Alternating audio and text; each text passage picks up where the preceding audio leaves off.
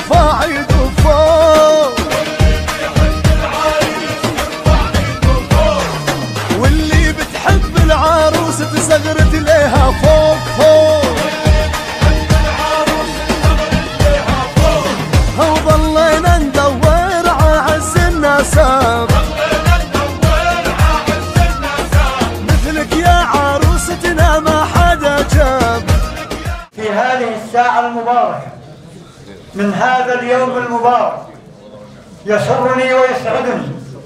باسم أبناء الكرك عامة وعشيرة الطراون خاصة أن نرحب بالجاهة الكريمة أجمل ترحيب وفي هذه المناسبة لا يفوتني إلا أن أسأل الله العظيم رب العرش العظيم أن يديم نعمة الأمان والأمن على الأردن وأن يحفظ الأردن. قيادة وشعبا وأرضا من كل مكروه. عبارات كثيرة لا تفيد حق أهلنا وأخواننا الجاهل وأقربائهم وأنسبائهم في ديوان أبناء الكرب. خير الكلام ما قل ودل والكلام مثل الدواء كثيره ضار وقليله نافع. ولذلك أكرر الترحيب مرة ثانية بالجاه الكريمة ونشكر إخواننا كمان اللي شاركونا فرحتنا في هذه المناسبة السعيدة. الشكر لله ولله الحمد على فضله ونعمه. الأخوة أبناء عشيرة الطراونة وأقربائهم وأنسبائهم الكرام الطيبين الحضور الكريم. السلام عليكم ورحمة الله وبركاته. يسعدني أن أتحدث نيابة عن أبناء عمومتي وعن أقربائنا وأنسبائنا وعن والد العريس ابن العم الدكتور طايل عبد الحافظ الهويدي والد العريس الطيار رعد الهويدي الذين شرفوني بالتحدث نيابة عنهم في هذا اليوم المبارك الفضيل من هذا المكان العامر لنلتقي بهذه الوجوه من أبناء عشيرة الطراونة ومن حضر معهم تكوين الأسر الصالحة ذات الخلق الرفيع التي تكون ركيزتها المودة والرحمة. وأيضا بناء مجتمعات قاعدتها الوئام والمحبة وأيضا خلق وإنشاء جيل يتمتع بالفلاح والصلاح والتقوى نهجا وخلقا وحياة.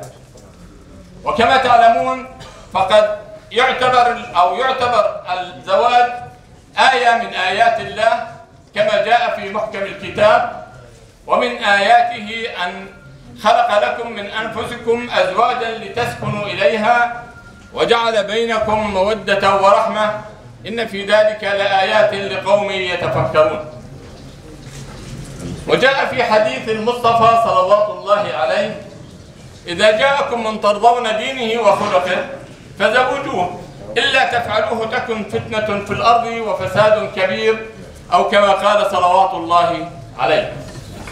وامتثالا لذلك وللسير بهدي شريعتنا الغراء والسنة المحمدية العطرة وحتى نكون من الفائزين كما جاء في كتابه تعالى ومن يطع الله ورسوله فقد فاز فوزا عظيما جعلنا وإياكم من الفائزين في الدنيا والآخرة. الأخوة الكرام لقد جاءت هذه الجاهة متقدمين وطالبين. يد ابنتكم صاحبة الصون والعفاف الآنسة رحمة كريمة عطوفة السيد محمد الطراونة إلى ابننا الطيار رعد ابن الدكتور طايل عبد الحافظ الهويدي على سنة الله ورسوله. آملين ومتأملين أن ينال طالبنا هذا القبول والموافقة؟ وسنكون لكم من الشاكرين. وجزاكم الله خيرا. ونحن بانتظار شرب قهوتكم الطيبة. أبدأ حديثي بالترحيب بالجاهة الكريمة أكرر الترحيب بهم مرة ثانية. والترحيب موصول أيضا إلى الجاهة المستقبلة الذي كرموني أن أتحدث باسمهم ولست بأفضلهم يشهد الله. وكلهم ذوات لكن يسعدني أن أنوب عن هذه الجاهة بالحديث إليكم. بداية فعلا نحن في هذا اليوم في هذا المكان الطيب سمعنا من أخونا الكريم الباشا الذي أجاد في حديثه وأفاد كل المستمعين فله الشكر على كل الأفكار والحديث اللي تحدث به إلينا. لكن إجت في بالي فكرة بدي أطرحها وأرجو أن تكون الفكرة مقبولة لدى الانتهاء منها. كثرت في الآونة الأخيرة الدعوة إلى التغيير والتحديث في كثير من مناسباتنا الاجتماعية. وقبل مدة وفترة أكيد كلنا اطلعنا إلى الجلوى والعطوة والشغلات القتل ومين بحضر ومين بيقوم ومين إلى آخره. والجميع يطلب أن كل هذه الأشياء تعدل وتصلح لأن الدنيا اختلفت ويعني صار في من الضروري أن يتم التغيير في كثير من نواحي حياتنا الاجتماعية. جاء بالي اليوم أغير في الحديث لأنه استمعنا من أخونا الكريم وغطى كل ما يمكن أن نتطرق له في موضوع الزواج من أحاديث عفوا من آيات كريمة ومن آه، أحاديث نبوية شريفة لكن اجت عبالي أن أنا عفوا برضه ضابط متقاعد ومنذ تقاعدي تقريبا أواخر 10 15 سنة يمكن بلا مبالغة معظم بنات الطراولة سواء في مؤاب أو غيرها إما أن أكون أنا اللي طالب للعريس أو أنا اللي معطي العروس. وهذا شرف عظيم إلي. إنه إخواني بحبوا إني أتحدث. إما لأني يمكن بحاول أنظر إلى الجلسة وأراعي الظروف الاجتماعية اللي فيها. مع مرور الوقت صار عندي ثلاث أنواع من الطلبات. الطلبة الأولى على الطريقة الشركسية والطلبة الثانية على طلبة ضابط متقاعد. والطلبة الثالثة بين الاثنتين. الموضوع الشركس هي مختصرة وسريعة. اللي خلاني ألجأ لها إنه قبل عشرين أو أكثر من عشرين سنة كنت في معية ابن عم إلنا رحمه الله الفريق خالد الطراوني اللي كان مستلم الدفاع المدني في طلبة لابن عم إلنا من الشركس وبعد ما تكاملت الناس والجاهة وقف الله يرحمه بده يتحدث. في ختيار شركسي وإنه بقول هي عرب أنت بتحب كلام كثير.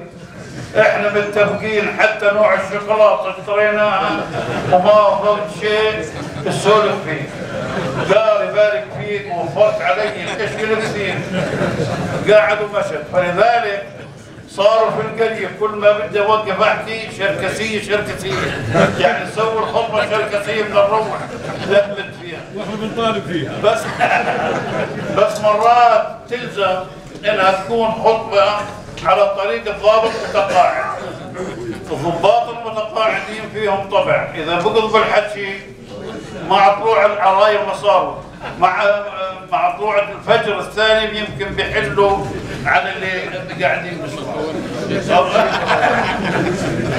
فلذلك وبين السنتين أحيانا بتصير تعتمد على القعده برضه الحضور اللي أمامي والوجوه الطيبة اللي كلها حوالي أوحت إلي بفكرة حصلت فعلا مع ختياره من إحدى عشائر الكرم. وبلاش نسمي العشائر اللي تنطبق عليهم مثل هيك شغلات ابنها اشتغل في دائرة المخابرات. ولذلك النسوان بيسألونها يا حجي منك وين؟ تقول ما بدري عنه فات دول بعدين لزوها مرة وما عارفين شو اللي بدهم إياه. قالت أنا ابني بيشتغل في ردات قال كيف يعني ردات قال قالت ما بيسمع شيء من غير راسا بيكتبها وما بيضيع شيء. فأنا في جلسة وحضورها وجوه طيبة ومعظمهم إعلاميين والإعلاميين لا يفترقوا كثير عن إخواننا اللي في المخابرات. برضه بدور على موضوع بقرأ مقال ويقول غلط في الآية وغلط في الحديث وكان ضابط وكان وطلع لواء ومو عارف يحكي إلى آخره. فلذلك بلاش تصير فيها الله. سكن مسلم حبيت أتحدث معاك وهيك لأنه فعلا أخوي الكريم أفاد وأجاد وكلكم سمعتوا الآيات اللي بدنا نكررها ونقولها أو الحديث اللي بنقوله. كل اللي بقوله إنه الموافقة على الزواج هي من من من من مسؤولية ولي الأمر. وأنا ولي الأمر كلفني إني أقول ابشروا في اللي جيتوا فيه. مبروك عليكم. وكل اللي بنقوله بارك الله لهما وبارك عليهما وجمع بينهما على خير على سنة الله وسنة رسوله. نقرأ الفاتحة.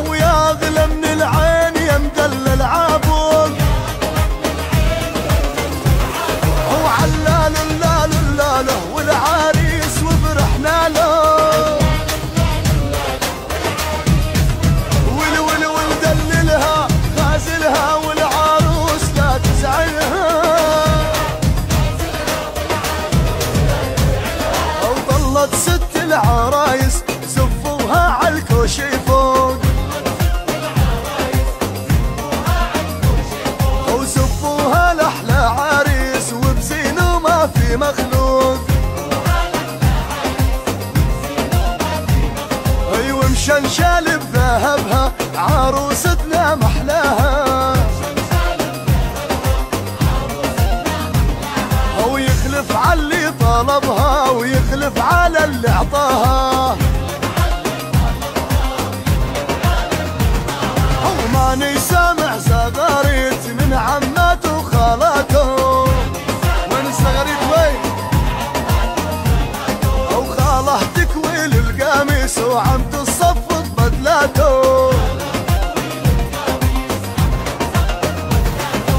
Allah'ım